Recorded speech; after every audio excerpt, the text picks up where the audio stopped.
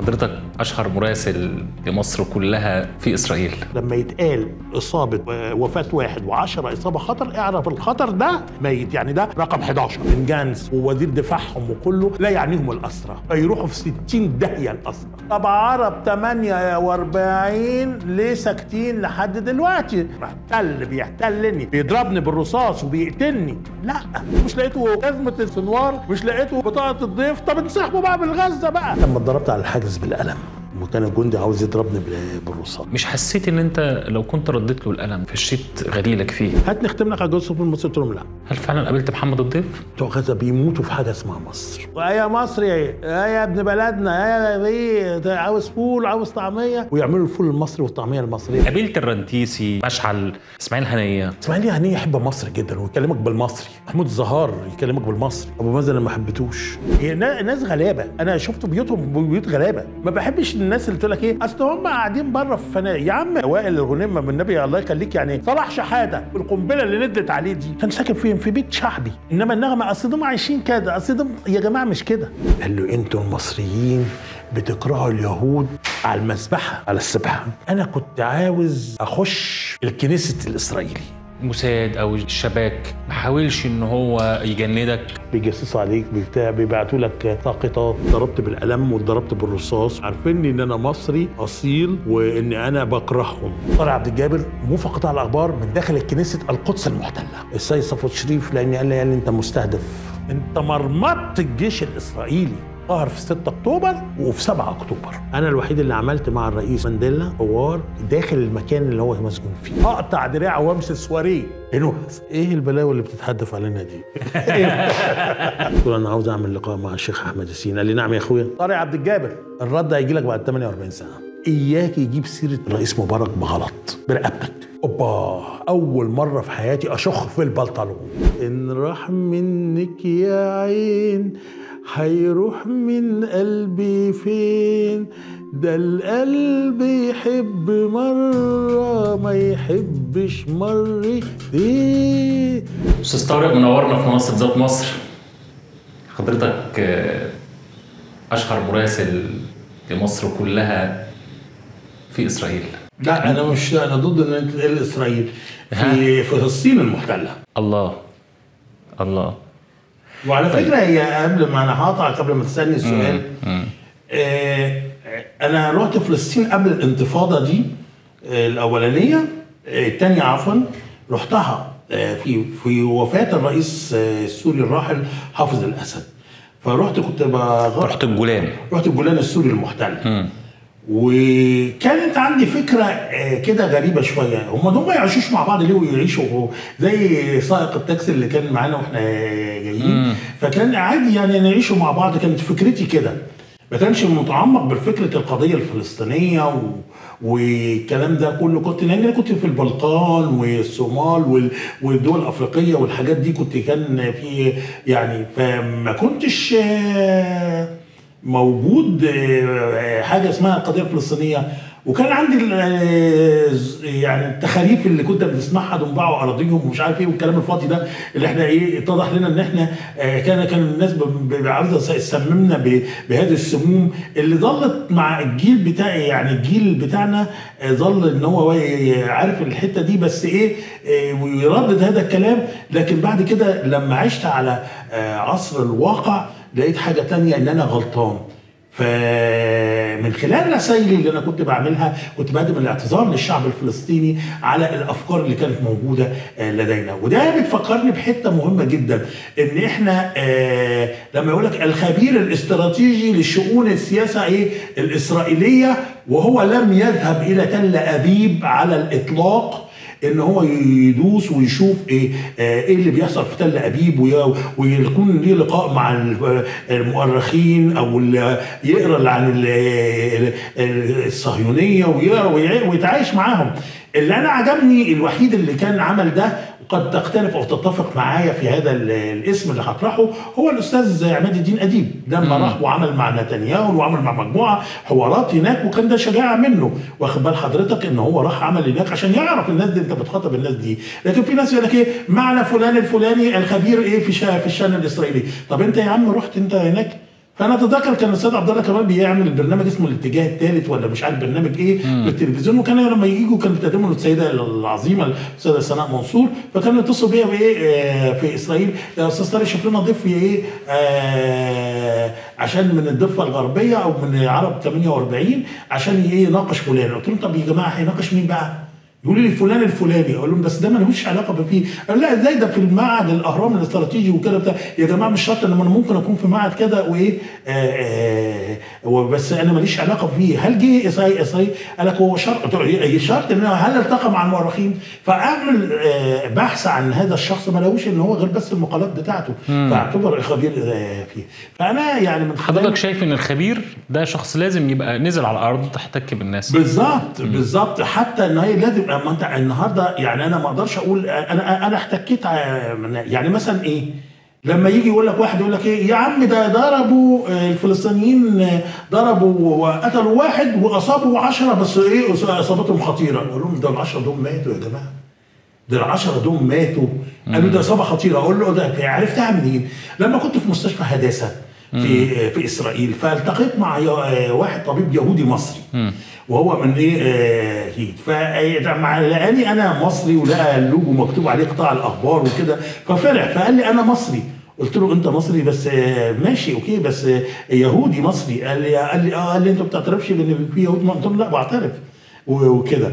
فالمهم فقال لي فقعدنا نتكلم وإحنا بنتكلم معاه فهمني قال لي خلي بالك لما يتقال آه، إصابة وفاة واحد و10 إصابة خطر اعرف الخطر ده ميت يعني ده رقم 11 يعني اللي, اللي مات ده رقم 11 وال10 دول جايين لنا إيه ميتين. فعشان كده أنا دايما بس بيعلن بعد كده. يعني بعد كده. ليه بقى؟ المجتمع الإسرائيلي مجتمع آه، فيه نوع من ال- الخوف وال- والجبنية وال- والدولة آه، دولة إسرائيل آه، المغتصبة للأراضي الفلسطينية بتراعي الحتة دي إن هي تبلغهم تاني يوم تالت يوم. إنما لا لما أنا أصدق المقاومة الفلسطينية لما تقول مثلا حماس يقول أنا قتلت 20 هو ما يقدرش يكذب. ليه؟ مش هم مش أنبياء عشان نقدر نقول إن هم بقى ما بيكدوش لكن هو بيقول صراحة عشان ما ما ينفعش إن هو يجي يقول إيه؟ آه اني إن أنا قتلت 20 ثم بعد كده يطلع إيه؟ إن هم اثنين لا. إنما الذي يخفي آه الأعداد والأرقام الحقيقية هو الكيان الصهيوني لانهم عارفين إن الشعب الإسرائيلي لن إيه يستطيع آه يعني لن يرحمهم الحاجة الوحيدة اللي ممكن تخبيها حماس ممكن إيه تهددهم تقول لهم إيه؟ أنا آه أنا هقتل لكم ده. ما مات واحد من, من الاسرى بتاعك بس هو ما كنتش مات عشان هو عاوز يخفف من الضغوطات اللي هي الضغوطات ال- القامة على إيه؟ اللي فيه. لكن لما لقيت حماس بقى إن الموضوع بقى إيه هم مش همهم لأن خلي بال حضرتك آه، القادة الإسرائيليين الحاليين الذين حتى ببن غفير وسمطرش وبن جانس و- ووزير دفاعهم وكله لا يعنيهم الأسرى. فيروحوا في 60 داهية الأسرى اللي هم عارفين طيب خلينا ناخدها من الأول. مم. أنت الأقدار آه، قذفت بك إلى الجولان السوري في بداية الأمر. كان ده سنة كام؟ في وفاة الرئيس حافظ الأسد. طيب مين اللي بعتك للجولان وليه؟ هو أنا بص حضرتك أنا كنت موفق قطاع الأخبار في كل الدول في رحت أفريقيا رحت مناطق الصراع كلها ورحت آه، غطيتها تغطيات فكان في ذلك الوقت كان الرئيس آه، السوري مات فكان سيادة الوزير صفوت الشريف آه، قد تتفق أو تختلف معاه بس أنا راجل بحترمه لأن اشتغلت معاه. آه، ماليش دعوة بتاريخه أو كده ماليش علاقة بالموضوع ده إنما أنا آه، الراجل ده ليه افضل عليا بصراحة. فاختارني قال طارق عبد الجابر هو اللي يروح ال- الجولان الجولان الجولان. الجولان السوري المحتل رحت الجولان ليه عشان أغطي أشوف ردود فعل الناس ال- السوريين اللي هم إيه بتاع- واقعين تحت إيه الاحتلال الإسرائيلي عشان نعرف هم الناس دي هل تأثروا وزعلوا على وفاة حافظ الأسد طيب وكده أنت. شفت إيه هل زعلوا على فكرة؟ آه زعلوا مم. الحقيقة ليه؟ آه، إيه هل بيحبوه كانوا بيحبوه. كانوا بيحبوه. أو مش بيحبوه بيحبوا حابين شع- شعبهم. أنت لما تشوف ال- الفاصل اللي بينهم لما هم يقفوا كل مرة في الأسبوع ويشاوروا لبعضيهم من هنا اللي في الجولان السوري وفي الجولان في الجولان الجولان الإسرا- السوري المحتل ويسلموا على بعض والإشارات دي والآخر والكلام ده فكانت بتصعب عليك وتشوف الناس قد إيه حبهم للوطن. يعني حبهم للوطن. أصل بص حضرتك الوطن ده إحنا إحنا مصريين بنحب وطننا بنحب مصر. يعني أنا بحب مصر بمرها بمشها بحب مصر. بحبها. يعني أنا لما ببعد عن مصر كده بحس إن أنا إيه إيه بع- إيه السمكة اللي طلعت من البحر. آه عندنا يعني أنت ممكن تقول إيه في حاجات بتضايقك والاخر لكن برضو مصر آه لقائي مع حضرتك لقائي مع زملائنا لقائنا في الشارع خرجنا والاخر بس دي مصر. هم هكذا بيحبوا ده وطنهم وهم عارفين إن في شفت لكن المجتمع الدرزي اللي هو لا دورز ده يختلف عن السوري. يعني معلش مجتمع في الجولان آه. دروز. في مش كلهم مش معظمهم. كلهم. آه معظمهم آه. طيب هل من خلال معايشتك آه، كانوا يحملوا لإسرائيل عداء؟ ولا المسألة بالنسبة لهم آه، عندهم نزعة مقاومة ما عندهمش؟ لأنه في جزء كبير أو يعني مجند من من الدروس في الجيش الإسرائيلي. لا بص حضرتك في أنا يعني أنا معلش أنا اللي أنا رحت الجولان السوري المحتل ده كان ما شفت الدروز فيهم ليهم مكان آخر.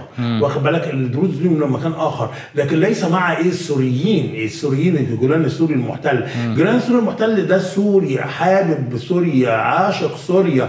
آه بي بي بي قاعد مغصوب عليه. اللي بيحصل فيه زي اللي بيحصل في الفلسطيني. هو أنتوا فاكرين إن الناس فاكرة إن عرب 48 في ناس بتسألك سؤال بتقول لك إيه؟ طب عرب 48 ليه ساكتين لحد دلوقتي؟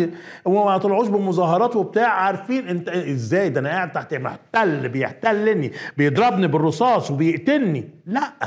ما هو مش هيقدر يعمل حاجة. يعني أنا أتذكر السيد أحمد طيبي لسه من قيمة أسبوع طلع لهم في الكنيست أنتوا لقيتوا مش لقيتوا كندره جزمة السنوار مش لقيتوا بطاقة الضيف؟ طب انسحبوا بقى من غزة بقى.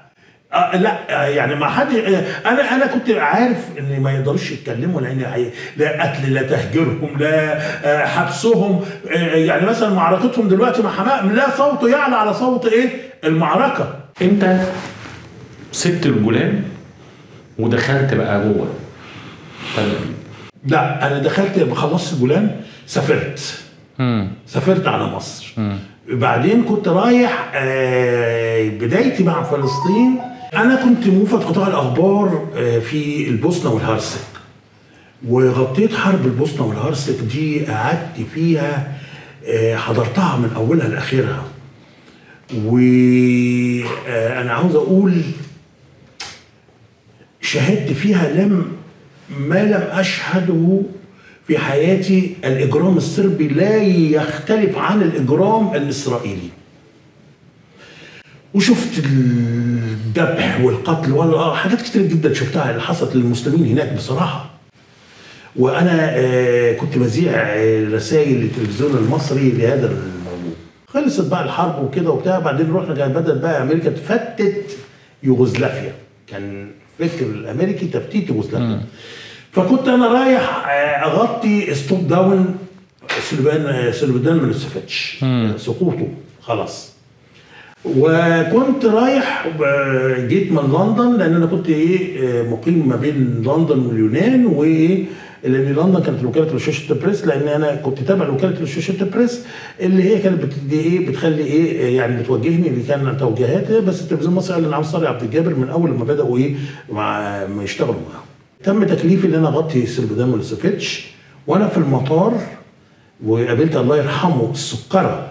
فاروق إبراهيم كبير مصوري آه، أخبار اليوم. وده راجل يا يا قعدت معاه معايا ذكريات حلوة قوي مع الراجل ده. وفي المطار يعني قعدنا بنتكلم على عبد الحليم وشاديه وورده وفاتن المهم لقيت التليفون كان لسه بقى الموبايل سنة 88 89 كان طالع. فلقيت الموبايل بيضرب عليا. وكان قطاع الأخبار بيقولوا لي آه سناء آه سكرتيرة الأستاذ محمد الوكيل أستاذ طارق إلغي رحلتك وتعالى. قطاع الأخبار. ليه يا جماعة؟ قالوا لي ألغي. فلغيت الرحلة وحتى فاروق استغرب. قلت له عاوزين كده يمكن آه، مش عاوزين الشغل خلاص ولا كده. فرحت قطاع الأخبار آه، وأنا رايح هناك. كان تفكيري إيه في إيه وإيه وإيه وإيه وإيه لحد لما وصلت مكتب الاستاذ محمد الوكيل. قال لي مهمتك مع اطلع فوق عند صفوت بيه طلعت عند صفوت بيه فقعدت الاستاذ عزة عبد الفتاح اللي هي مديرة مكتبه دخلتني آه، ودخلت عنده فلقيت اتنين شخصيتين فقال لي هتروح معاهم وهترجع آه، قلت له هروح فين؟ قال لي هتعرف بعدين قلت له متأكد إن أنا هرجع تاني يا صفوت بيه؟ قال لي آه هترجع تاني ورحت وكانت من هنا كانت البداية مين دول بقى؟ إيه، من الاجازه ورحت عشان إيه آه، قابلت هناك بقى آه، آه، عرفت ان أنا إزاي هروح إسرائيل وإزاي وإزاي وإزاي وإزاي. ورحت والحمد لله أديت المهمة على خير المهمة اللي هي أنت العملية. أنت أنت ما اعترضتش؟ لا بالعكس أنا بس كنت الأول كنت إيه آه خايف وكده وبتاع وكان ده أول لقاء بيني وما بين السيد عمر عمر سليمان وشفته هناك وكده وسلمت كده هو بنفسه اللي ادالك الكريدت يعني. آه. مم. يعني راجل أنا أكل له الاحترام والحب وكل الجه- الجه- الجهاز يعني بصراحة و- والحقيقة ورحت بقى كانت دي البداية بقى. و... هو خلاص ادالك ال- الخطوة. طيب انت سافرت بقى. مم. احكي لنا بقى إيه من ساعة ما ركبت الطيارة ركبت الطيران إيه وهبطت في مطار إيه ومين استقبلك؟ سافرت مطار آه، طلعت على إير سينا كانت موجودة في ذلك الوقت. وطلعت ورحت آه، بعديها آه، أتذكر إن أنا رحت تل أبيب أما نزلت رحت لصفا بيه بص لي أنا وصلت بعد ما وصلت بعديها بثلاث ساعات يعني آه، أو أربع ساعات على ما أعتقد. فرحت وكان صفوت بيه كان موجود. فالمهم فعزة قالت له أستاذة عزة قالت له أستاذ مين؟ عزة عبد الفتاح مدير مكتبه أستاذ طارق عبد الجابر موجود بره وكده وبتاع. قال لي دخليه فهو لما دخل دخلت فبص لي. قال لي رج- رجعت يعني أهو. أنا ما أقول لك على حاجة افهم إن إيه إن. خلاص نفذ كل الإيه التعليمات واتكل على الله. قلت له حاضر. قال لي التواصل ما بيني وما بينك. قلت له قطاع. قال لي ماليش علاقة مالكش علاقة بالقطاع. تواصل أي هل. في توصيات؟ يعني أنت قلت تعليمات. هل في توصيات معينة بتاخدها بس يعني إجراء شخصي أمني؟ يعني في توصيات؟ معينة؟ انت قلت ان في تعليمات معينة. آه طبعا. انت لازم تعرف يعني انت رايح آه انت رايح دولة الكيان. هتتعامل مع مين وهتقعد مع مين؟ هتتعامل مع مين؟ يعني أنا النهارده آه مثلا آه طبعا لازم هتتعامل مع السيد السفير محمد بسيوني كان في ذلك الوقت الأستاذ الله يرحمه ايهاب آه الشريف اللي مات آه، في العراق وكانت لي صداقة وكنا بنقعد نغني أنا وهو نضرب على العود ونغني آه، اغاني وهو كان صديق لبليغ حمدي على فكرة هو كان كان حكى لي حاجات كتيرة جدا عن بليغ حمدي ويعني تعرف إن هو أحد أسباب مقتله في العراق؟ إنه التنظيم اللي اللي خطفه كان آه، يعني حصل على معلومة إنه كان سفير لمصر في تل أبيب ومن أجل ذلك قتله. لا هو هو معروف أصلا انت أنت بتروح لأي بلد بتكون ليك هو كان وزير المفوض هو كان وزير مفوض ما كانش سفير. وكان انما لما مشي بسيوني آه، فترة ما آه، هو قام بقائم بالأعمال بإيه؟ آه، بأعمال السفير. بس هو كان وزير مفوض وكان شخصية جميلة جدا. آه أنا سمعت عنه إن هو حد كان وكان بيغ... كنا مثلا كان يعني احكي لي عنه شوية. كان كان آه، الله يرحمه وهاب شريف لما كنا نروح مثلا آه، يتصل بيا يقول لي آه، أنت عارف يا طارق السبت والح... السبت آه، جمعة آه، والسبت ده أجازة عندهم الإسرائيليين بقى ليه؟ وكده. فتيجي تحب تحب تتعشى معايا الجمعه ولا السبت؟ قول له اللي تختاره بس إيه لو الانتفاضة خليها يوم السبت عشان إيه؟ الانتفاضة إيه؟ الجمعه بتكون إيه؟ آه، شديدة. شديدة. فكنا نروح يوم السبت. أتذكر وإحنا رايحين ففوجئت معاه آه، معاه عود. فقلت له إيه ده؟ قال لي ده عود وقعدنا على البحر وهو إيه وغنى إيه؟ إن راح منك يا عين هيروح من قلبي فين؟ ده القلب يحب مرة ما يحبش مرتين الله. قلت له قلت له- قلت له- كان صوته حلو وكان صديق لبليغ حمدي ولأن هو كان ملحق في فرنسا وكان حابب بليغ حمدي وكان هي كان مثقف وأغلب اللقاءات اللي أنا عملتها مع الشخصيات الإسرائيلية كان هو السبب. يعني آه، كان يتصل بيا ويقول لي عاوز تعمل مع مين؟ أقول له مع فلان أستاذ جامعة أستاذ كذا وبتاع. وكنت إيه بعمل آه، مع- معاهم لقاءات. آه، ولما راح العراق وأنا كنت فيه قال لي أنا رايح العراق ما تيجي معايا؟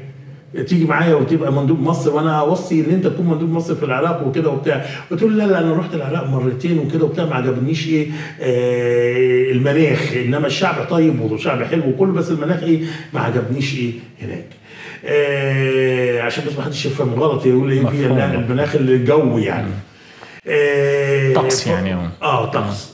إنما هو إنسان الله يرحمه وكان ذكي ومحب لمصر جدا. آه، وكان يعني في بس هو راح غدر.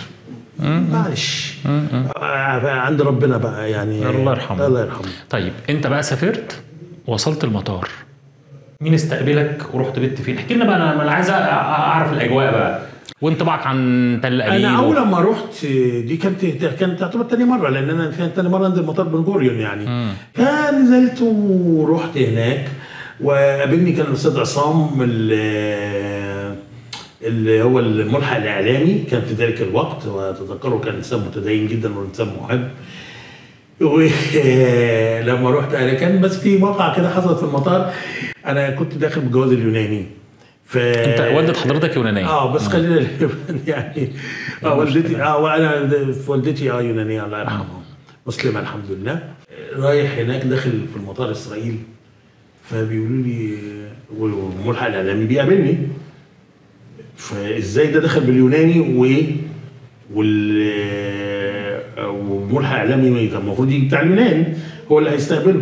فالمهم فاستغربوا فقلت لهم لا أنا معايا جواز سفر مصري وبتاع. قالوا آه طب ما كده ده هات نختم لك على جواز السفر المصري قلت لهم لا.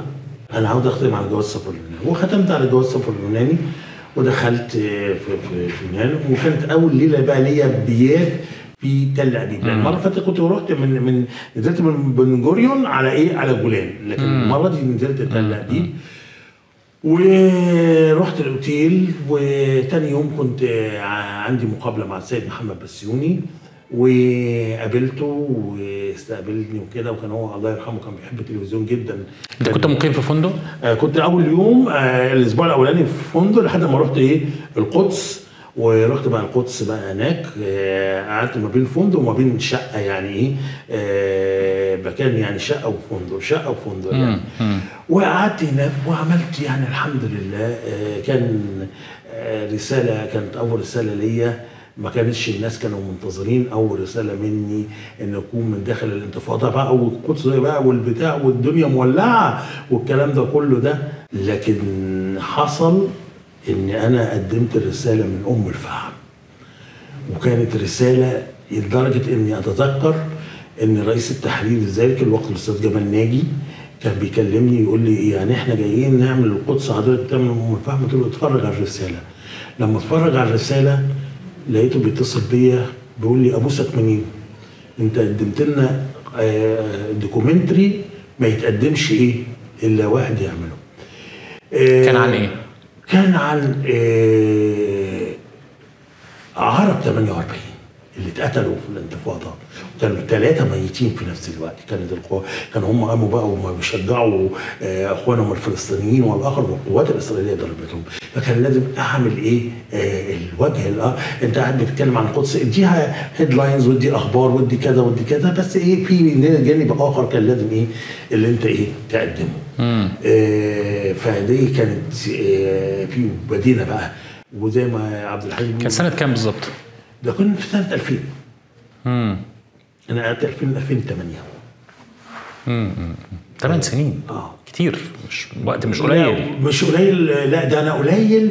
آه، أنا أنا لو أنا أقول لك على حاجة. أنا نفسي كنت أقعد آه، طول حياتي في في فلسطين. كنت مرتاح هناك؟ إيه لما تشوف الظلم على الشعب بيتقتل وبيتضرب وبي والحاجز الناس بتمر إزاي والذل اللي بيعيشوه إزاي. تقول آه، الناس دي انت لازم تقعد معاهم وتقف معاهم. هل فعلا قابلت محمد الضيف؟ آه. على فكرة محمد ضيف ممثل ممثل مسرحي وبيجيد الف- الفن الإسلامي يعني واخد بال حضرتك؟ وقابلته وهو شاب كويس جدا و... ومحترم و وكان يعني البعض بيقول لك إن هو كان بيتهرب من الإسرائيليين ولا لا لا؟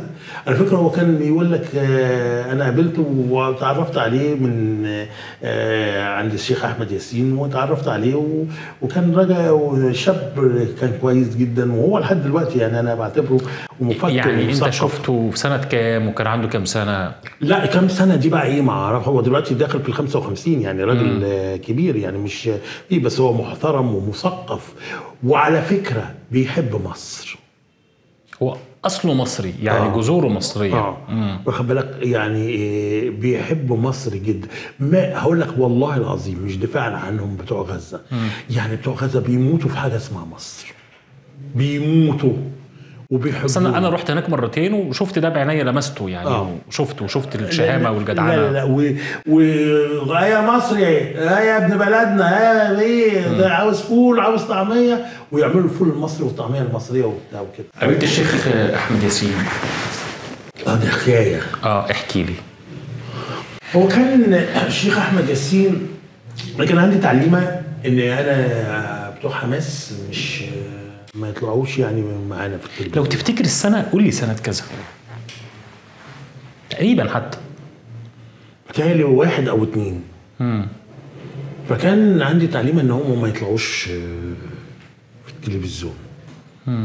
هم ولا الجهات أنا بصراحة آه، دايما إيه صاحب مقولة طالما أنت بتشتغل عند حد قول رأيك بس إيه اربط الحمار ما عاوز صاحبه. بس. انت صا- صاحب صاحب الشغل عاوز كده فأنا آه، رحت هناك وما كنتش بعمل لقاءات مع الشيخ مع أي حد من حماس. لا لا القيادات ولا الآخر والكلام ده. بتعمل مع فتح. مع فتح مع مروان برغوثي مع وعملت لقاءات كتيرة جدا. ومع محمد دحلان وكنت بعمل لقاءات كتيرة جدا إلا بقى فيه بتوع حماس لاحظوا إن في لهجة كبيرة جدا غيرت في شاشة التلفزيون المصري. آه، لما أنا رحت في فلسطين ففوجئت إن بتوع حماس بيقول واحد واقف بيقول القدس المحتلة. آه، واحد بيقول قطعان. قطعان المستعمرين الذين يعيشون في الأرض إيه؟ فسادا. وفوجئوا عملت أنا تقرير كان من عكا وبقول إيه؟ عكا فلسطين المحتلة. آه. ده إيه ده؟ ده بتتقال فين؟ على شاشة التلفزيون المصري. عكا فلسطين المحتلة. اتقلبت لقيت كانت أميرة هارون اللي هي سفيرة آه، إسرائيل هي وكانت هي مديرة مكتب آه، آه، شمعون باريس احتاجوا اللي هو كان وزير الخارجية في نفس الوقت وهي دلوقتي سفيره اسرائيل في مصر دلوقتي. فاحتاجوا إزاي؟ أنت تقول ده ده في كلام قلت لهم آه، غلطة طلعت. فافتكرت عكا لأن كنت بتفرج على فيلم نصر صلاح الدين فافتكرت ولي عكا. فأردت إن أنا اتهرب من ده. المهم عشان ما نخرجش عن السياق فحصل إن أنا لقيت دعوة موجهة لي إن أنا أحضر عزومة عشاء آه، لإيه؟ ل- آه، كانت عاملاها حماس لل- للصحفيين. أنا الحقيقة كنت رفضت إن أنا أحضر ليه؟ لأن أنا هروح لازم يعني تغطي. تغطي. فقالوا لي لا يا عم ما تغطيش وبتاع والكلام ده. قلت لهم لا أنا مش رايح بعديها فوجئت بإني جاي السيد سعيد أبو شنب الله يرحمه ومجموعه آه، بالحماس جم قالوا لي تعالى لازم إيه. فلقيت آه، الأستاذ صلاح جمعة والمجموعة الموجودين لا إزاي بقى أنت ما تجيش ده عيب؟ يعني الناس جات لك لحد عندك. فرحت لما رحت هناك وقعدت هناك وفي الحفي فاقترح سؤال من السيد إسماعيل هنية. ما تحبش تعمل لقاء مع الشيخ أحمد ياسين؟ طبعا مين بس هذيعه فين هذيعه فين أنا أحب أعمل. اعمله لصالح مين. فده خير فالمهم فقالوا لي فكر ففكرت اتصلت بصفوة بيه كان الاستاذ و- نائل آه، نايف عبد الله سكرتيره فقلت له أنا عاوز أتكلم مع صفوة بيه يعني وكده. فقال لي في حاجة. قلت له آه في موضوع كده وبتاع. قال لي طب في إيه؟ وهو كان يحبني قوي عبد الله فقال لي في إيه يعني؟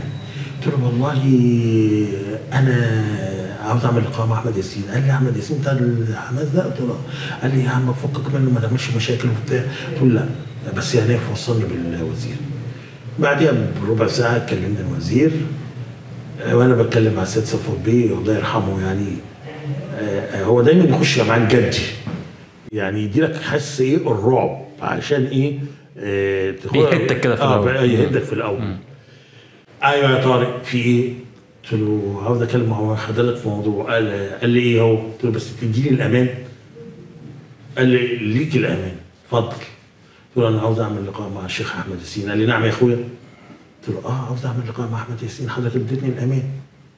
ولا سحبت حضرتك الأمان؟ قال لي لا الأمان معاك بس ليه؟ هم غسلوا دماغك ومش عارف إيه بيهددوك في حاجة نتكلم دحلان ومش عارف إيه. قلت له لا لا ولا هددوني ولا أي حاجة. بس أنا عاوز اعمل معاهم لقاء فقلت له يا فندم إزاي؟ يعني عاوزين نعمل معادلة البالانس أنا عاوز إيه اللقاء وإيه وكده وبتاع عشان ما نقولش إن إحنا قاعدين فتح فتح فتح فتح فتح. ما نعرفش الدنيا هيحصل فيها إيه بعد كده. قال لي طب خلاص هرد عليك. خلال 48 ساعة.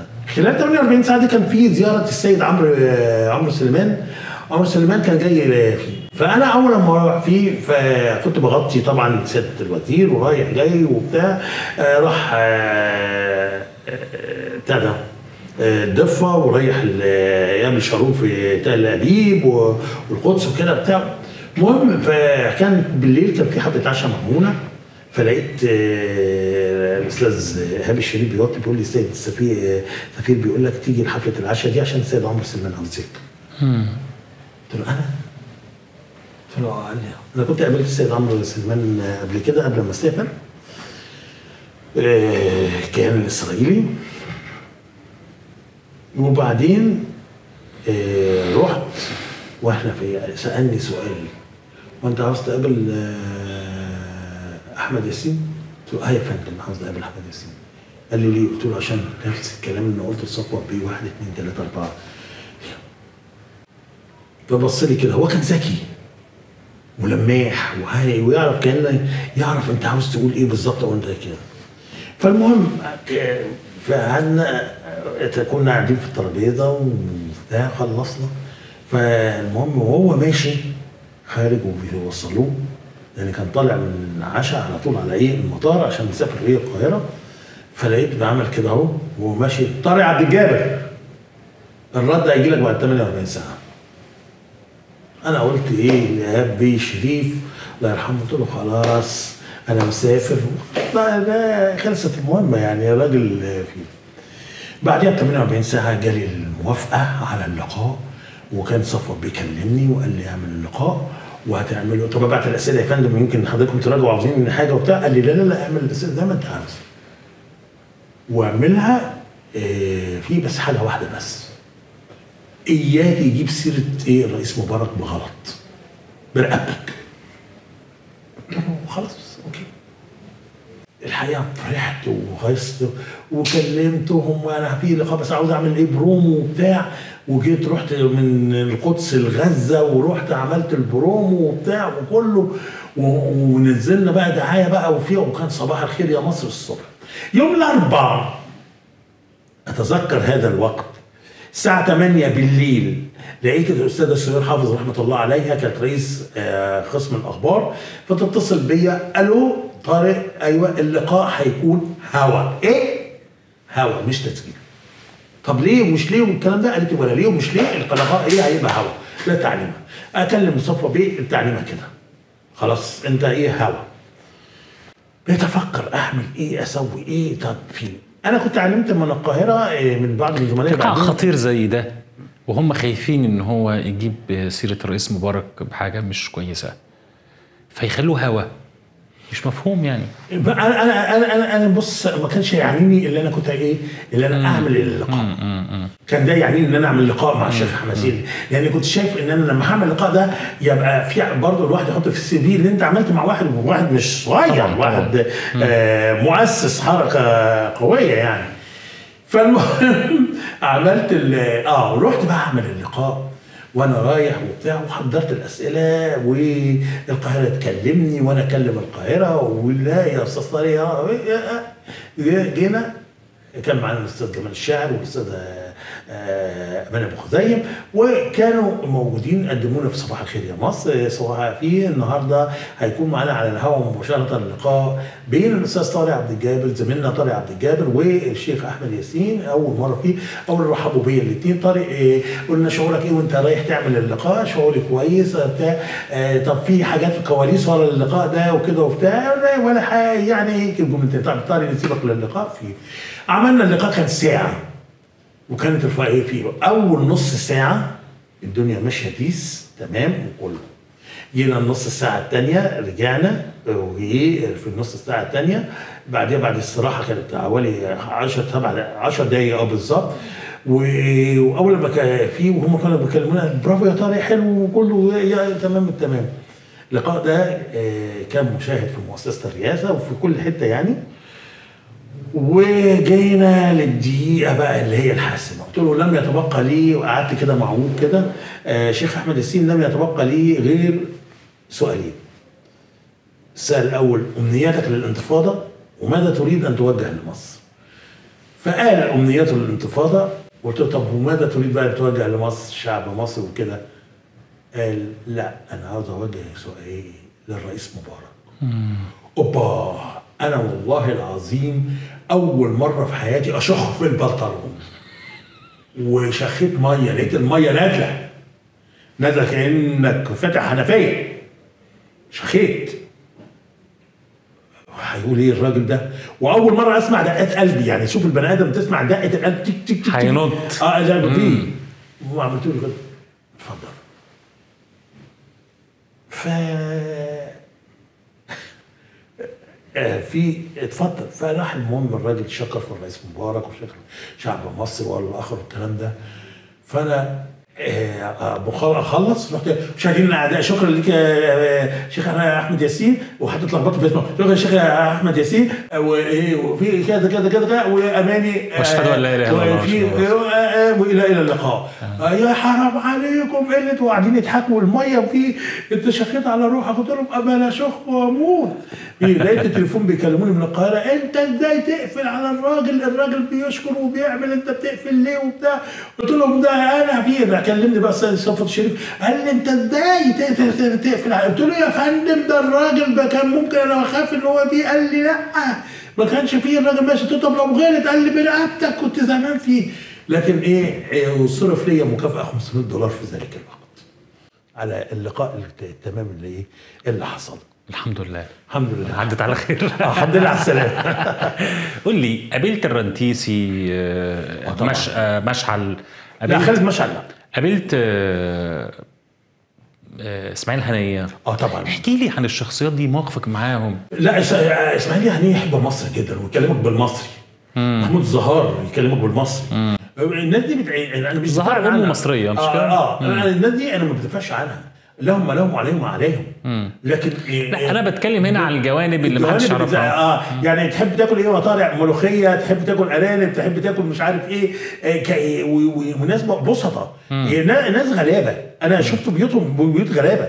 يعني أنا ما بحبش الناس اللي تقول لك إيه أصل هم قاعدين بره في فنادق يا عم آه، وائل الغنيمة من النبي الله يخليك يعني مش عاوزين إن إحنا فيه هم قاعدين إيه فيه طب ما مين اللي استضاع طب أنا هسأل سؤال.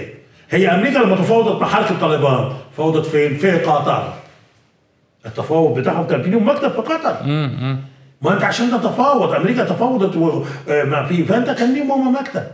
فأنا ما مش عاوز في هم إنما على المستوى الإنساني هم إنساني وبسطاء بيوتهم بسيطة جدا وساكنين مع الناس. صلاح شحاده اللي هو كان خافي كان ساكن في إيه؟ والقنبلة اللي نزلت عليه دي أيام آه، آه، وهود باراك. آه، دي ما مش دي كان إيه؟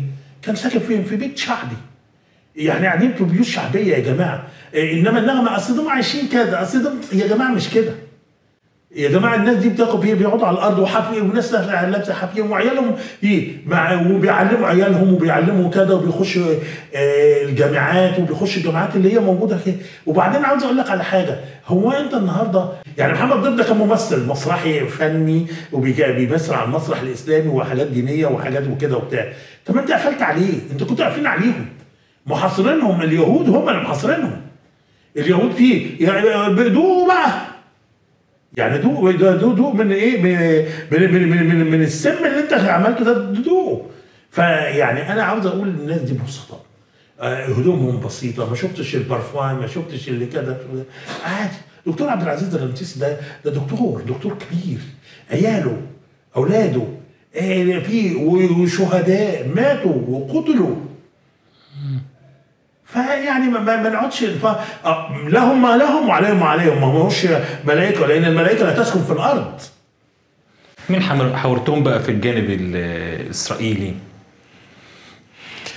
شمعون بيريز إريك شارون أهود باراك آه شؤون مفاز آه وغيرهم وغيرهم وغيرهم وغيرهم. آه أنا أتذكر لما عملت مع وزير خارجية ديفيد ليفي آه وزير خارجية إسرائيل. في ذلك كان ذلك الوقت في حكومة آه الليكود. فأول لما عملت اللقاء معاه ف وأتذكر ما لم يكتمل الحوار ثلاث دقائق ليه؟ رفض بعد كده. قال لي بعد السؤال التاني قال لي بص لي كده قال stop فقلت له ليه؟ هو بيتكلم يهودي مغربي هو. قلت له ليه؟ إيه في في إحنا غلطنا في حاجة؟ قال لي لا. قال له أنتوا المصريين بتكرهوا اليهود على المذبحه على السبحه بعدد السبح دي أنتوا بتكرهوا فيه. فقلت له بس ليه يعني؟ أنت حضرتك فيه؟ قال لا مش هكمل اللقاء فعادي. ففي إنما عملت مع شمعون بيريز. عملت مع شخصيات كتيرة. كنت أتذكر لما عملت مع شاؤول موفاز بقول له كم عدد الدبابات الإسرائيلية اللي موجودة في إسرائيل؟ قال لي كل طفل إسرائيلي ليه دبابة. موفاز. آه، موفاز آه عملت مع آه، إيهود أولمرت اللي هو كان كان في ذلك الوقت المحافظ آه، ال- آه، محافظ القدس بلدية القدس. عاوز أقول لك على حاجة في لقاء يعني حصل إن أنا كنت عاوز آه، أخش الكنيسة الإسرائيلي. وده الأستاذ ش- العظيم الاستاذ أحمد الطيبي العضو العربي كان دعاني هو وعزمي بشارة بشارة. والمجموعة دي إن أنا أجي هم كانوا عاجبينهم التقارير اللي كانت لأول مرة يسمعوا في التلفزيون المصري آه، صوت إيه إيه تاني. يسمعوا قطعان المستوطنين يسمعوا حاجات تاني. فدعوني إن أنا أحضر. كان معاهم الأستاذ محمد بركة والكلام ده. فرحت. هم كانوا داعيني عشان يوروا لي إزاي إن في من النيل للفرات إيه الخريطة بتاعتهم ما زالت موجودة الحلم الإسرائيلي من النيل للفرات. المهم آه كان رئيس البرلمان آه وهو عاوز اتذكره هو كان من يهود ال- الغربيين. وكان متفتح الراجل ده كويس جدا. وعلى فكرة الراجل ده أنا أتذكر هو ما تنبأ بطوفان الأقصى. لأن لأن قال جملة أنا عاوز أتذكرها قال ما نفعله نحن مع الفلسطينيين سيؤدي إن في يوم من الأيام ستكون القوة الغالبة لهم وليس لنا. دي جملة أنا لن أنساها إيه؟ إطلاقا. وأنا عاوز أتذكر ده لأن ده كان رئيس برلمان آه، في ذلك الوقت وكان رجل محنك وكان راجل سياسي وكان راجل فاهم ما إيه يعي. قول لي في خلال الثمان سنين موساد أو ال- الشباك. ما حاولش إن هو يجندك اقترب منك. ليه؟ يجلدني ليه؟ ده أنا واحد غلبان. أنا أنا مش يعني مش هدف بالنسبة له. مش هدف بالنسبة لي محدش اتجسس عليك؟ ما هم كانوا بيجسسوا عليك يعني أنت فوق. بيجسسوا عليك بتاع بيبعتوا لك آه، ساقطات آه، في فلوك إن أنت راجل متسل بتصلي بتصوم فما كانش كان بيبعتوا لك سقطات إزاي؟ يعني تيجي واحدة الصحفية تعالى نصر ومش عارف إيه وبتاع. كنت أقول لهم لا مش عاوز كانوا بيزعلوا الدعوات اللي أنا هم كانوا يوجهوا لي دعوه أنا ما كنتش بروح. يعني أنا ما كنتش بروح آه، كنتش يعني أنت ما. كنتش متزوج وقعدت فترات س- لا لا ما عادي. يعني أصل بص هقول لك على حاجة. أنت ما على فكرة الأحداث كانت هناك سريعة وساخنة فما كانش إيه بتخليك ان أنت ت- تنام. أنت كنت أنا إحنا في يوم عملنا 10 تقارير في يوم واحد. لا فأنت الأحداث كتيرة جدا. قول لي أنت هناك كنت بتاكل من أكلهم من أكل المطاعم و... آه يعني لا ما كنتش باكل من أكل اليهود. أنت بتطبخ لنفسك؟ لا آه، في بيتي آه لما كنت قاعد في البيت كنت بطبخ لنفسي. يعني لو جعان بره حابب تطلب كنت دليفري لو كنا جعان بره كنت آخد بسكوت بتاع آه، أروح محل فلسطيني. محل فلسطيني. عشان اشجع بس. أنت برضو كان 8 سنين أكيد كان ليك وسط. تعرف ناس آه، يهود آه، يورم بن نور بس الصحفي الم- المغربي اليهودي. اسمه إيه؟ يورم بن نور. مم. ده ده كان آه، كان ما دخلتش بيوتهم؟ دخلت بيوت إسرائيليين آه. دخلت آه، دخ- دخلت مستعمرات. دخلتها بس مستعمرات. يعني طيب كنا في غزة. ده مستعمرات غزة. كانوا قابلينك 8 سنين. يعني قابلينك وسطهم محدش بيضايقك لا كان في لا كان في مضايقة كان في مضايقة مرة إن أنا اتضربت بالقلم واتضربت بالرصاص لا. هنيجي للقصة بتاعت محاوله الاغتيال وال أنا هنا بس بتكلم. هم كانوا بيعتبروك يهودي فلاشة كانوا يظنوا لا لا لا لا لا هم كانوا عارفيني هو مش يهودي كانوا عارفيني إن أنا مصري أصيل وإن أنا بكرههم. ودليل إن أنا لما جيت ماشي فكان بيقول لي آه، الراجل بتاع بيت اجرون المدير المكتب الإعلامي بتاعهم أنتوا في مصر بتقولوا لو واحد بتكرهه عاوزين يمشي آه، تضرب وراه. أقول لا أنا أنت تضرب وراك إزير.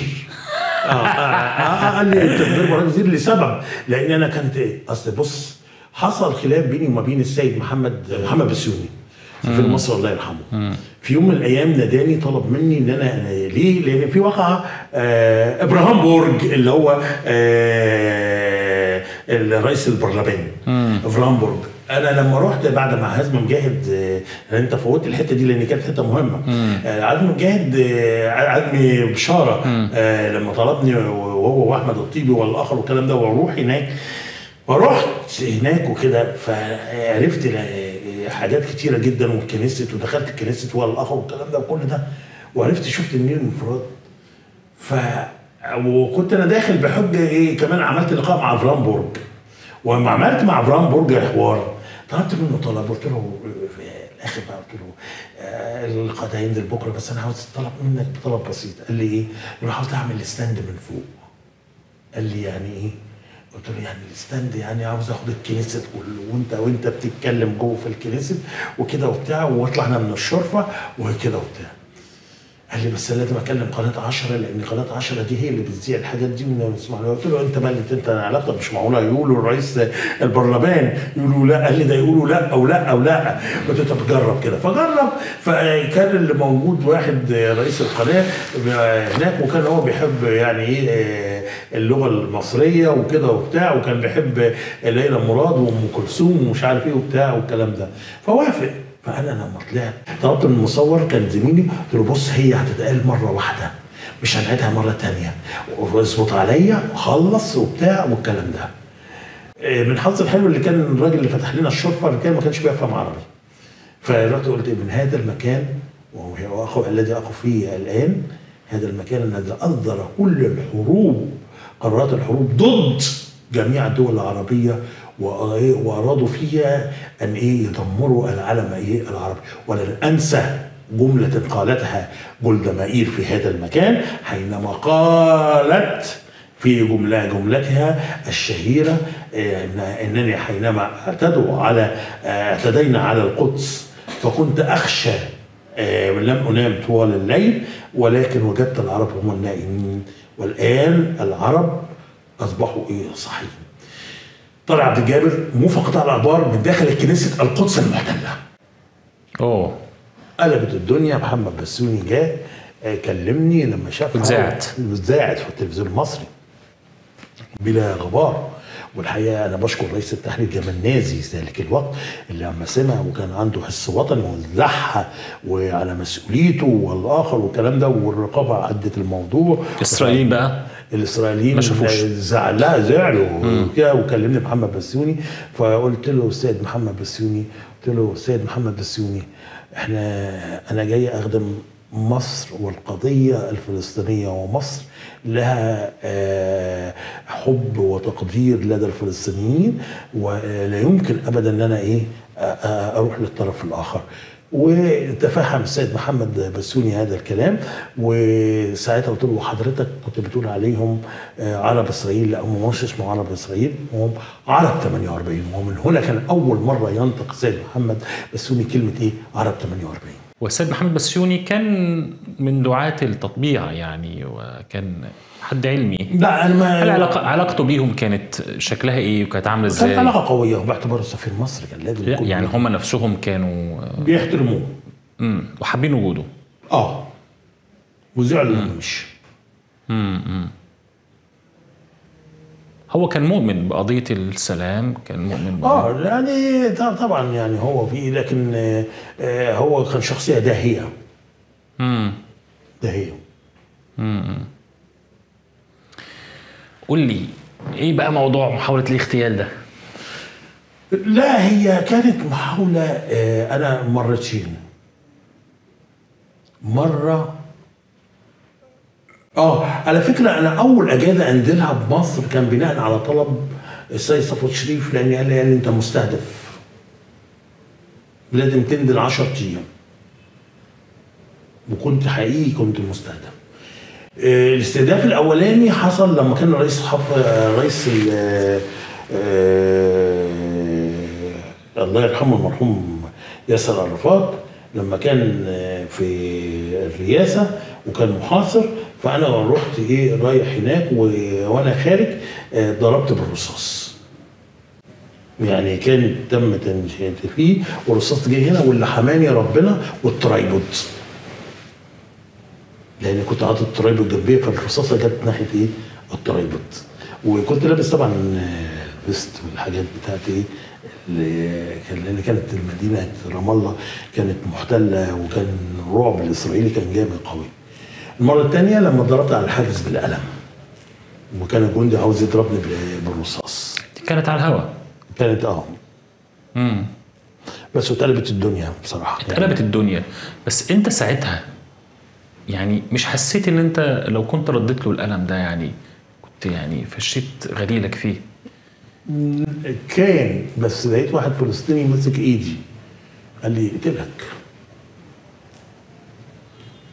هو.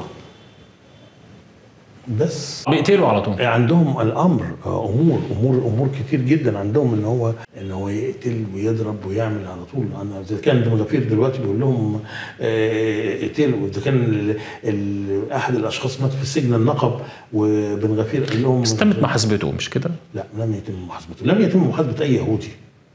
حينما تقتل الطفلة حنان آه، إيمان حجه وهي طفلة صغيرة لم يتم حساب المست- المست- المستعمرين آه، لم يتم محاسبة أي أي- بني آدم في إسرائيل لم يتم محاسبته على قتل فلسطيني، الطفل آه، حينما تم حرق طفل فلسطيني بالجاز وكل ده لم يأخذ دخل حكموا عليه ثلاث أشهر وخرج من إيه؟ من الحكم صدر منه ثلاث أشهر يقعدوا في بيته. عنصري. لا طبعا النظام عنصري. النظام ما, ما آه، النهارده الأمريكان لما بيتكلموا يقولوا إيه؟ خلي بالكم من الضفة اللي بيعملوه المستعمرين. طب ما تصدروا قرارات على المستعمرين. ما تصدروا كده في لا. يعني انت النهارده آه، الضفة الضفة النهارده ما يعملوا المستعمرين هو هو على فكرة هو آه، آه، أوسلو ضيعت القضية الفلسطينية. أنا من وجهة نظري أوسلو النهارده خلت ما في- ما فيش حاجة في فلسطين. المستعمرات قامت أيام أوسلو. وأنا شايف إن الوضع الوضع اللي في الضفة الغربية أخطر أخطر بكتير. يعني النهارده آه، يعني إحنا قاعدين دلوقتي بنتكلم لكن الوضع في فلسطين هناك في الضفة هناك آه، انت آه، الأبرتايد اللي هم عاملينه ده ده خطير خطير جدا. النهارده عندك الحكومة حكومة فاشية. إحنا وانت كنا بنناقش أنا وانت حضرتك قبل وإحنا قبل ما نيجي كنا بنتكلم عن الجيل الجيل القادم الشعب الإسرائيلي الشعب الإسرائيلي عايش إزاي أو في الجيل القادم هو الخطر على الدولة الإسرائيلية لأن مش جيل عنصري لا جيل مش عاوز يحارب مش عاوزين مش عاوزين خلاص. الجيل اللي قاعد على الكنتاكي والبتاع وال- والأفلام الأمريكية والبتاع ده مش عاوزين. الجيل شمعون بيريز مناحم بيجن رابين القتالين الناس اللي قتلوا ولا واسحاق رابين اللي إحنا وقاعدين نعيط عليه ونقول ده حمام السلام. ده مش حمام السلام. ده صاحب آه، مقولة إيه؟ الانتفاضه الايه الأولانية تكسير العظام. لا. امم لا لا, لا, لا. قول لي أنت قابلت نتنياهو؟ نتنياهو مرة بس هو كان في حزب الليكود ده ما كان رئيس وزراء لا اللي قبله الاستاذ عماد الدين أديب. تعرف عنه حاجة؟ يعني تعرف عنه هو؟ أبوه لماذا لماذا هنا في سؤال دايما بتطرح لماذا إن كل آه آه الإدارات الأمريكية تعمل حساب لبنيامين نتنياهو لأن أبوه اسمه بن صهيون نتنياهو. يعني واخد بالك؟ وهو ده كان أستاذ جامعي في آه، في أمريكا وكان هو صاحب دعوة آه، فلسطين و آه، آه، هي أرض إسرائيل و- و- وع- وكان في الابات والجمعيات الأمريكية اليهودية وكان مواصل في الإدارات الأمريكية والمؤسسات والدولة العميقة. ف ولما رجع فلسطين على فكرة البيت اللي قاعد فيه نتنياهو ده بيت واحد فلسطيني دكتور فلسطيني. وخدوه آه، أول لما جه أبو نتنياهو آه، جه فاستولوا على البيت ده. فلا نتنياهو بس نتنياهو آه، خلي بالك نتنياهو آه، لو نرجع كده لمؤتمر مدريد الأول اللي هو اتعمل بتاع حرب الكويت آه، كان موجود فيه وكان اللي لابس فيه صاحب علاقات الشال وكان آه، كان محتاج محتاجين إزاي إن هو يلبس الشال الفلسطيني. فلا نتنياهو نتنياهو في لقطة آه، شارون لما بيقول له آه إحنا مغتصبين إحنا محتلين. فكان نتنياهو رافض كلمة احتلال. قال لهم لا إحنا مش محتلين إحنا دي أرضنا. نتنياهو رفض عملية أوسلو. خالص. فنتنياهو من أخطر واحد جه يعني لصالح دولة دولة يعني آخر انت شايف إن الشعب ده هيتفكك؟ لا الشعب ده آه، الفاشية الدينية العنصرية آه، أصبحت لدى, إيه؟ المتطرفين زي سومطرش و- آه، وبن غفير وغيرهم ووزير الطاقة. ده ده ده خطير ووزير التراث. ده وزير التراث ده اخطر ده اختارهم اختارهم وزير التراث اللي قال له قال التصريح علني. قال لك قنبله ذرية تترمي عليها إيه، إنما الجيل الجديد أنا عاوزك بس حضراتكم تبصوا على الجيل الجديد. الجيل الجديد في إسرائيل هو اللي آه، مش عاوز آه، الحروب. جيل الجيل العيال الجداد اللي طالعين. مش عاوز الحروب. وأكبر دليل على ذلك قناة 13 و12 عملوا كان استطلاع تحب تروح الجيش؟ لا. الجيش الإسرائيلي اللي بيحارب ضد حماس دلوقتي وضد المقاومة الفلسطينية مرتزقه مرتزقه ج- جدا يعني. واخد بالك؟ بس في ناس يعني انت ما سألتنيش قلت لي طب الشعب اليهودي ده بيحب آه، بي- بيحبونا كمصريين؟ ما سألتنيش السؤال ده. أنا بسألك اتفضل. لا. ما بيحبوناش. ما بيحبوناش. عارف ليه؟ عشان عارفين إن الشعب المصري هو الشعب الوحيد اللي في العالم اللي بيكره اليهود وهو الوحيد اللي عاوز دولة فلسطين إن هي ترجع. هم قالوا لي إحنا ما بنحبش قابلت المصريين اليهود هناك آه قابلت قابلت اليه- اليهود اللي هناك وشفت آه، ابن ال- الجاسوسة آه، اسمها دي اللي هي اللي عملت لسعد يونس والله مش متذكرها عملت لها مسلسل الساعة ما هي السقوط في بئر سبع. السقوط في بئر السعب آه السبع وشفتهم إيه إيه بيعمل قال لك إيه؟ قلت له لا لا لا ما بي- قابلتوش يعني شفته بس. شفته بس آه. آه، في في في اليهود في في قهوة مصرية هناك حاطين أم كلثوم وكده وليلى مراد وكده وبتاع. آه كده لكن ما فيش علاقات يعني لا لا لا ما- كنتش حابس. قول لي الص- الصحفي المغربي ده ليه ليه, ألو... ليه هو الوحيد تقريبا اللي, اللي كان آه، في هو اللي؟ حب يتعرف عليا فتعرفت عليه. آه، عزمني مرة على العشاء بس قلت له هتعشى في مكان عربي. قضيت الثمان سنوات كده يعني لوحدك؟ آه، بص أقول لك لحضرتك حاجة. أنا عملي. زي يعني آه، آه، بحب شغلي بحب عملي. فقضيت فيه وبعدين كانت الانتفاضة كانت شغالة بطريقة يعني الأربع خمس سنين الأولانيين إحنا ما كناش بنشوف النوم. يعني أنا بصراحة عاوز أقول لك على حاجة أنت هتقول لي إيه أكتر المشاهد أثرت فيك في الانتفاضة؟ أنت شفتها بشكل عيانا. ايمان حجو الطفلة اللي هي قتلوها الصغيرة اللي عمرها الرضيعة أربع أشهر. اللي أمها جابتها بعد غياب بعد ربنا اداها لها بعد 20 سنة يعني أو 15 سنة على ما أعتقد. ده أثر فيا أثر فيا آه، آه، حرق الطفل الفلسطيني حر- حرقوا المستوطنين آه، اللي هم مستعمرين آه، اللي حرقوه. آه، أثر فيا المشهد الفلسطينيين وهم واقفين على الحواجز آه، وهم آه،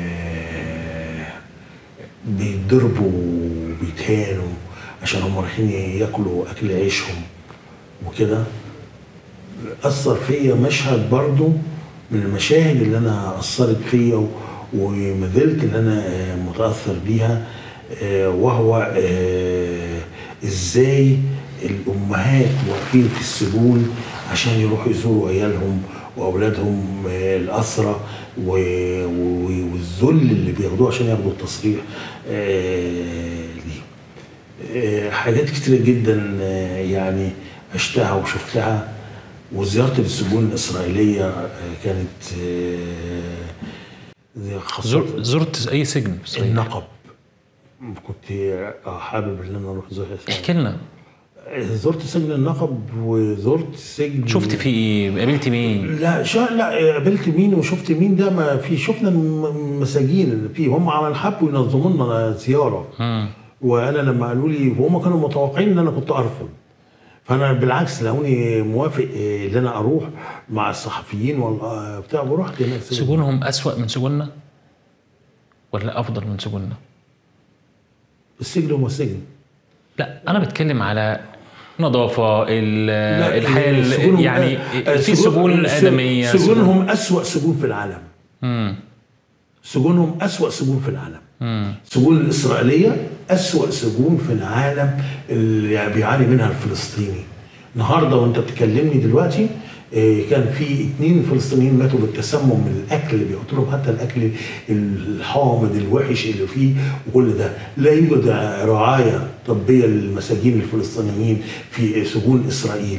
لا يوجد رعاية لهم اطلاقا آه، في الزيارات محرومة. جاءهم وزير يأتي لهم ويقول لهم آه، إن آه، اضربوهم ويضربوهم وتعذيب والآخر ألا تعلم أن هناك بعض في لما أسروا بعض من الشباب اللي ليس له علاقة بالمقاومة الفلسطينية آه، في من غزة قتلوا ومنهم ال 80 اللي ماتوا ضم وبعض منهم تم آه، إخوانهم الفلسطينيين هم اللي آه، دفنوهم طلبوا منهم الاسرائيليين يدفنوهم عارف ليه؟ طلبوا منهم ان يمارسوا ممارسة جنسية وهم رفضوا. فتم قتلهم الفاشية الإسرائيلية والوحشية الإسرائيلية أتساءل العالم كله الآن يجري على حوالي 120 طب والأسرى اللي موجودين في في السجون الإسرائيلية دول إيه نسميهم إيه بقى؟ نسميهم إيه؟ نسميهم دول آه، أولاد القطة السوداء ولا ال- الكلبة الضالة؟ لا الفلسطيني ما احد لماذا لا أحد يحاسب وزير الدفاع الإسرائيلي الذي قال دول حيوانات بشرية؟ ما حدش حاسبهم. في لقطة. لقطتين في الانتفاضة دي- في في الحرب بتاعت الأقصى دي. طوفان الأقصى دي توقفت عنهم. طبعا كل شيء كان دراما دراما دراما دراما دراما يعني فيه. لكن في طفل صغير وقف. بالجردل وبياخد المية وقال جملة خطيرة وأنا بشكر المصور وال producer اللي صوروا اللقطة دي الجملة دي مم. قال والمطر نازلة عليه وهو حاطط السطر بيقول الله عارف إن إحنا محرومين قطعوا عنا المية وإحنا عطشانين فأرسل لنا إيه؟ المية شوف الطفل اللقطة الثانية اللي, أنا حسيت إن الطفل ده آه، في بيقول لك آه، في مستشفى ال- اللي ضربوها وموتوا فيها 500 600 واحد الشفاء بقى- ولا- آه لا العمداني دي العمداني. فقال جملة قال كنا نايمين أنا وإخواتي وأمي وكده فصحيت على إن ضرب النار وفي ببص على أمي وأبويا وإخواتي لقيتهم ميتين. إحنا غلابة. إيه؟ عملنا إيه؟ الواد بيقولها أنا جسمي أشعر إيه؟ الناس دي غلابة. بص بص في الانتفاضة دي في ال- هي انتفاضة آه يعني. بص على الشعب الفلسطيني اللي في غزة. بص على هدومهم غلابة. مكافحين عاوزين يعيشوا. آه، حضرتك كنت مراسل حربي. لا، إيه رأيك؟ مراسل- مرا- كلمة مراسل حرب دي يعني. اشتغلت في الحروب. آه. إيه رأيك في وائل الدحدوح؟ و- والشباب اللي معاه اللي زي آه، إسماعيل ال- والانس الشريف ده يعني شاب أسطورة يعني أسطورة بصراحة في التغطية. يعني شوف فدائي يعني هو تحس ان هو فدائي. ده ده ده فدائية مش بص بص بص. قول لي قول لي. قابلت وائل تعرفه آه زمان؟ طبعاً، وائل احكي لي. عنه. وائل إنسان مهذب محترم وفلسطيني جدا. آه وأنا بخاف عليه دلوقتي إن هو لأن هو مستهدف يعني من الإسرائيليين يعني. آه شوف آه وائل أنا بحبه و- وبستنظر رسايله وهو دايما لما يجي مصر كان يقول لهم سلموا لي على طارق عبد الجابر وكده وبتاع. فأنا بحبه وهو إنسان متميز جدا وكل ده. وائل ما بيعملش حاجة للشهرة. لا وائل بي- بيقول اللي في قلبه اللي في قلبه.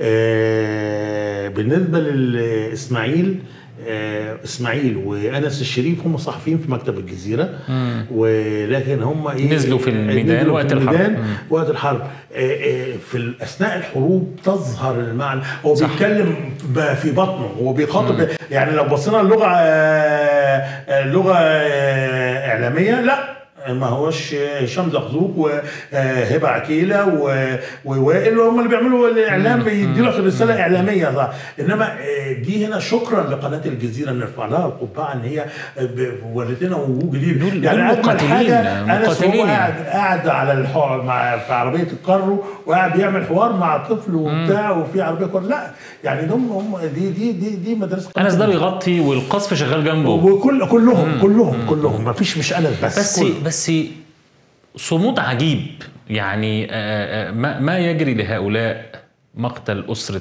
آه، دحدوح مقتل زميله. والد آنس والتاني. والأداء بهذا الشكل وبهذا شيء عجيب. أنا أول مرة أشوف كده لا, يعني. لا بص هقول لحضرتك حاجة. أنا لما توفى والدي أنا كنت في جنوب أفريقيا وكنت آه كنت بعمل لقاء مع الرئيس ويلسون مانديلا. آه وتوفى والدي وطلعت على الهواء وعادي يعني. أصل دي أنت بتقدم مؤمن بقضية. هم في الفلسطينيين آه مشروع شهادة. فلازم إن أنت تفهمهم بقضية. ولكن أنت ما عندكش مراسلين بقى دي حاجة تانية. يعني انت يعني أنا أنا هقول لك على حاجة. لو سألتني سؤال أنت طيب أنت لو حبيت أنت كنت تتمنى تكون تغطي في- أقول لك لا ما كنتش عاوز اغطي كنت عاوز أخدم الفلسطيني أروح أغسل له هدومه أديله دواء أديله أكل أديله شرب لأن ده لأن هو محتاج. أساعد الأطباء. كنت أتمنى تبقى موجود أنت هناك. أتمنى بقى أتمنى ان أكون موجود أخدمهم. لأن ما يقوم به وائل و- وأنس وهشام زقزوق وإسماعيل وغيرهم وغيرهم وغيرهم. آه، بيبقى في كفاية إلا الجديد اللي أنا هقدمه. الجديد اللي أنا هقدمه. هم قايلين بكفايه إنما الفلسطيني محتاج إيه؟ محتاج إن أنت تساعد الدكتور. ساعد ساعد ده ساعد ده ساعد ده. ما كل الجرائم اللي بترتكب الآن ان الدكتور يعمل عملية بدون بنج. لا يوجد منظمه اسمها حقوق إنسان. دي كذب. ونفاق لا يوجد منظمه صحه لا منظمه آه، الصليب الاحمر آه، انظر كيف ان هم نظام الصليب الاحمر لما كانوا بياخدوا الاسرى اليهود كانوا بيحضنوه والفلسطينيين كانوا بيتضربوا لا لا لا إيه، الكل مقابل الكل دلوقتي القضية اسمها الكل مقابل الكل انت في بص إيه إيه ضرب ضرب الله علينا نروح ما هي في إيه إيه المطلوب؟ المطلوب اللي أنا فيه السنة بتاع 85 يوم. آه، داخلين في ال 85 يوم. لم ترفع حماس إن شاء الله ولن ترفع الراية البيضاء. بل هم اللي بيرفعوا الراية البيضاء. النهارده خمسه الويه خارج الكنيسه أنت أنت مؤمن بأنهم هينتصروا في النهاية؟ مين؟ حماس. طبعا. مقاومة يعني. نصر الله. أنا مؤمن بالله. يعني أنا نصر الله قريب؟ نصر الله قريب. يعني لا ما- ما اصل أنا مؤمن. حتى هقول لك على حاجة. عملوا اللي إحنا كنا بيفشل بيفشل لنا. يا استاذي الفاضل ان الا تعلم إن النهارده الأعداد التي تقولها إسرائيل هي أعداد غير حقيقية؟ إسرائيل لا تعلن الاسباب الحقيقية. أنا تعالى النهارده. يا سيدي خليك النهارده اللي- شوف الولد اللي بيقول آه، جندي أنا بقالي بحارب أنا وأخويا ومش لاقيين بنشوف بنشوف الرعب. الناس بتقول لك هو ربنا ما ليه ما يتدخلش يا رب يتدخل لا ربنا بيتدخل وعارف ومديهم القوة ومديهم فيه. ده ده نصر النصر بتاع ربنا. لأن كفاية. بالعكس انت مرمطت الجيش الإسرائيلي. الجيش اللي انت قاعد تقول لا لا يقال لا اتقهر في 6 أكتوبر وفي 7 أكتوبر. مصر الجند المصري قهروا والجند الفلسطيني والمقاومة الفلسطيني آه، قهروا. فما نقعدش إن إحنا نقول إن إحنا آه، نخاف من إسرائيل. دي دولة هشة. دولة هشة. أنا الحاجة الوحيدة اللي أتمنى أتمنى أتمنى من ربنا إن بعض الفنانين بقى يعني في الوطن العربي إحنا مش عاوزين هو روبورتا أوبريت والكلام الفاضي ده ونغني ومش نغني لا إن إحنا آه، نعمل زي ما عملوا الفنانين بتوع مصر في حرب أكتوبر كانوا نزلوا وراحوا المستشفيات وتبرعوا بالدم وتبرع في دم أم كلثوم عملت آه، بعد هزيمه 67 ونزلت وجيب المجهود الحربي وكل ده. أتمنى ده. آه، ننسى بقى مهرجان الرياض والنبي والحاجات دي ننساها. خلاص. إحنا عاوزين نقف مع الشعب الغلبان الشعب الفلسطيني يا جماعة أنا دايما أسأل نفسي يوم القيامة هقول لربنا إيه؟ أنا سيد بتقول أنت عاوز تغطي؟ لا آه، وائل بيغطي والشغل وائل تمام وأحسن مني و- والشاب دقوق أحسن مني وأنس الشريف أحسن مني وإسماعيل أحسن مني وغيرهم وغيرهم الخمسه ستة اللي بيشتغلوا التانيين أحسن مني. لا وبيقدموا رسالة رسالة وطنية رسالة فيه وبيقولوا وعلى فكرة بيقولوا إحنا حصل كده ما بيجيبوش ما بيزيفوش. ما بيزيفوش. يمكن أنا أكون هبقى عاطفي زيادة عن اللزوم. لكن لا هم اللي فيه. عشان كده. عشان كده أنا بقول لك أنا كنت نفسي أروح أخدم الناس دي. أخدم الناس دي لأن الناس دي محتاجة. يعني محتاجه طيب قول لي آه قابلت عرفات؟ آه أو قابلت أبو مازن؟ آه. قول لي إيه إيه, إيه الفرق بينهم؟ في حاجة معلمة معاك؟ عرفات مصري. إزاي؟ مصري بيتكلم وبيتكلم معاك بالمصري بيحب مصر بياكل الأكل المصري بيموت في الشعب المصري. مختلف بقى معاه سياسيا دي حاجة تانية. أبو مازن ما حبيتوش ليه؟ ما ما, ما ارتحتلوش. طب بقيت قيادة السلطة الفلسطينية إيه رأيك فيها؟ زي مين؟ زي اللي انت قابلتهم بقى لا ده قابلت ناس. كتير دحلان يعني أنا بص علاقتي مع دحلان يعني هي علاقة طيبة آه، هو كان بيحبني وشايف ان ان أنا توجهاتي قوية جدا أو معنى هو مرة قال لي أنت غيرت الفكر بتاع المصريين عن الانتفاضه عن عن الانتفاضه واللهجات الفلسطينية اللي انت بتقولها أو الحاجات اللي يعني أنا كنت أقول مثلا من إمام حاجز آه، مثلا الحاجز الفلسطيني كذا. يعني كنت في في الحقيقة يعني في علاقتي كانت معاه طيبة بس مش علاقة قوية يعني. علاقتي كانت مع الرجوب كانت قوية. جبريل الرجوب كانت قوية. بس. طيب انت قلت لي في الآخر خالص بقى آخر السؤال اللي هو ليه انت تم اختيارك تحديدا إن انت تكون مراسل التلفزيون المصري في الأراضي المحتلة؟ بص أنا كنت موفق قطاع الأخبار في كل حتة بس ما كنتش متخيل بيا إن يجي إن أنا أروح فلسطين.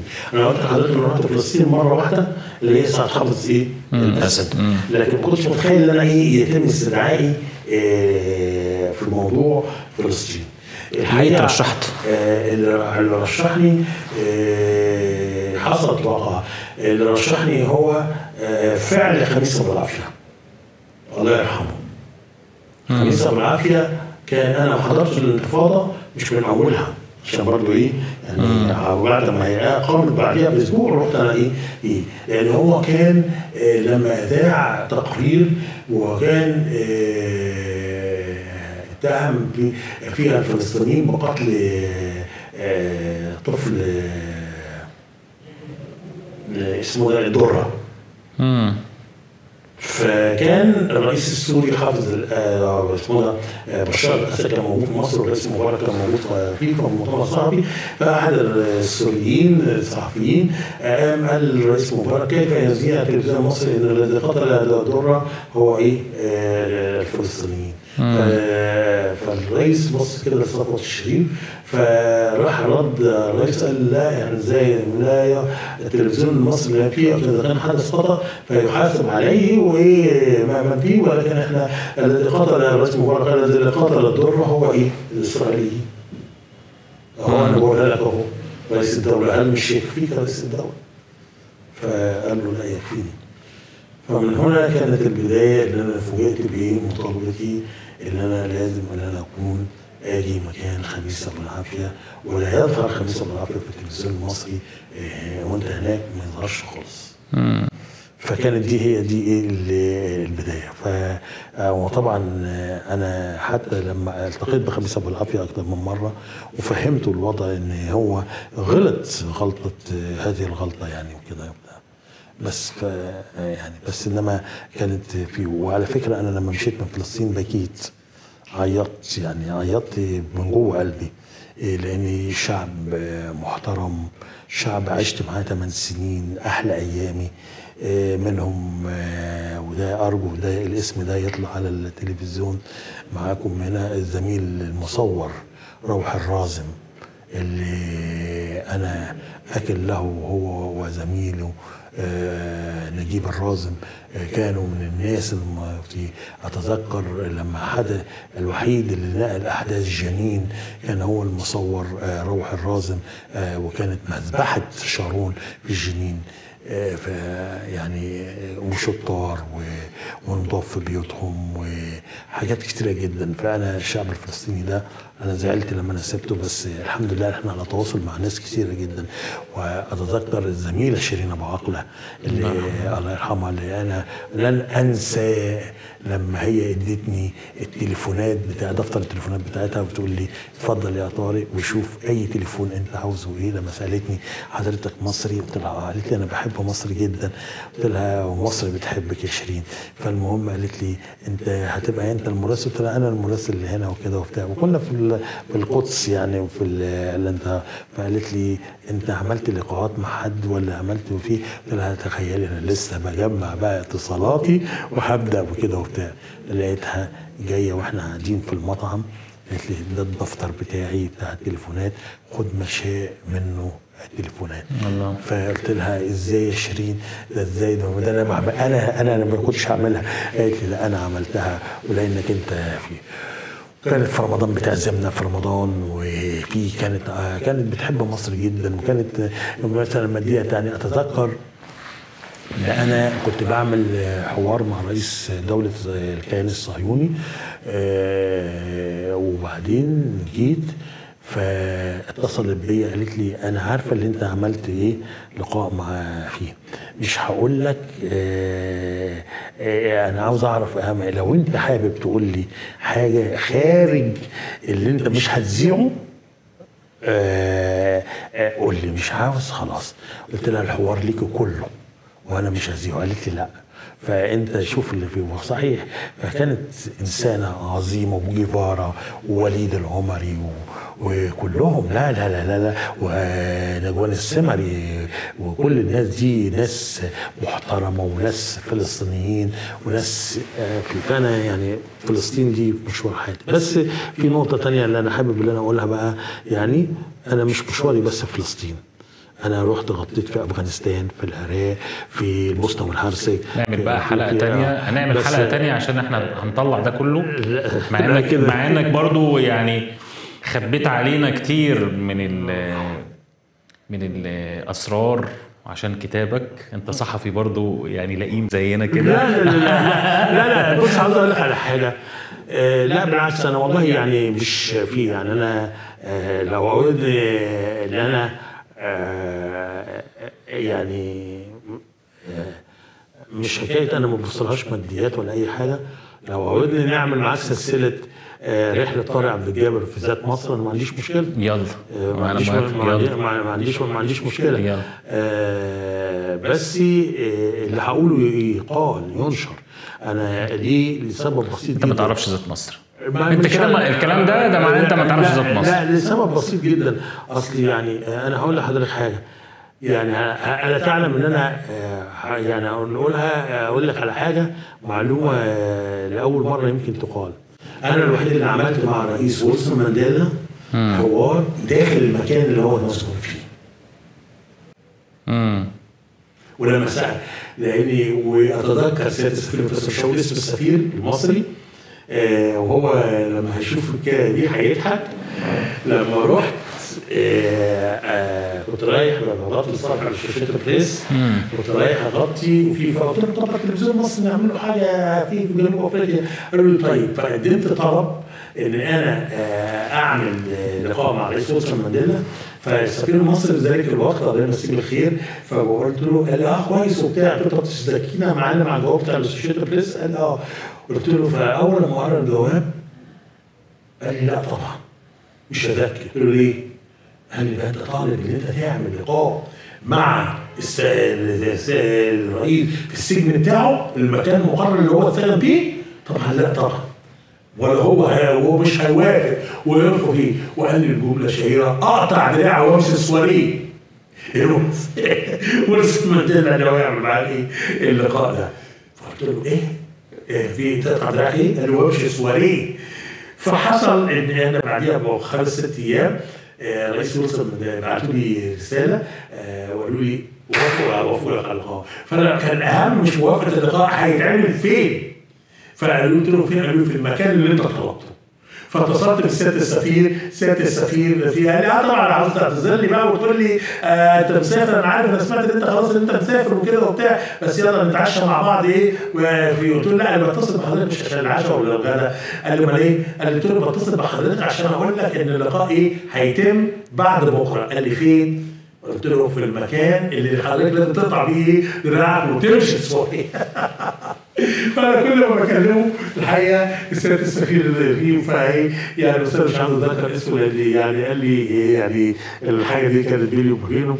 ففي عملت لقاء برضه مع رئيس آه، مع هو كتير دي دي ماريل وناس فيه وفي عملت لقاء مع رئيس كوبا.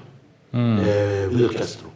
وسالته السؤال اللي عادل امام سأله في, في, في الفيلم. هل ان السيجار سيجار كوبي بيتعمل على وراك العذاره فرد عليها الستوب وقف التغيير. فقضيت قال لي لا أنا لن أجيب إلا بعد ما تزور الماضي وتشوف إذا كانت بتعمل على وراك إيه؟ العذاره أو لا. فعدت قال لي لازم تروح ورحت وشفت ما لقيتش وراك العذاره بيعملوا فيه وعملها فيه. فكان في عملت لقاءات كتيره جدا وكنت هيتم اختياري في البوسنه والهرسك على يد الأمريكان. ما أنت كل ما تروح حتة تحاول اختيارك. آه. يا عم طارق بس ف يعني يعني كان في مشوار يعني كان مشوار حياتي أنا سعيد بيه وفي لكن أنا ما كنتش إحنا اللي سعداء بيك والله يا أستاذ طارق وشرفتنا وإن شاء الله نكررها مع بعض وعد. بإذن الله. بشكرك جدا يا أستاذ طارق. أنا بشكر ذات مصر وبشكركم. آه، أتمنى عام 2024 ألاقيكم شاشه تلفزيونية. إن شاء الله. آه، حتى على يسمع منك ربنا. حتى على اليوتيوب. ما نقفلش بس. إحنا عايزين بس نستمر. لا هي آه، آه، في وأنا حقيقي مبسوط جدا من الحوار بتاعي معاكم. لكن آه، الحاجة اللي أنا عاوز أقولها آه، نجاحي ده أو وصولي لهذا المركز ده بيرجع لثلاث عوامل. فضل أول حاجة ربنا سبحانه وتعالى اللي وقف معايا مدى حياتي مش هقدر أنسى فضل ربنا. والدتي الله يرحمها. وتالت حاجة بعض من الناس ما يتعدوش على الصوابع يعني وقفوا معايا وآمنوا بحاجة اسمها طارق عبد الجابر. أتذكر إن في يوم من الأيام ودي أختم بيها إيه اللقاء آه، فلما دخلت آه، في قطاع الأخبار ودخلت فيه في أحد الأشخاص وواحدة كمان وفي أول ما دخلت بقول لهم أنا طارق عبد الجابر المراسل الجديد اللي هكون لكم موفد لقطاع الأخبار فردوا عليا قالوا لي إيه البلاوي اللي بتتحدث علينا دي؟ نورتنا يا أستاذ. أشكرك بس أشكرك.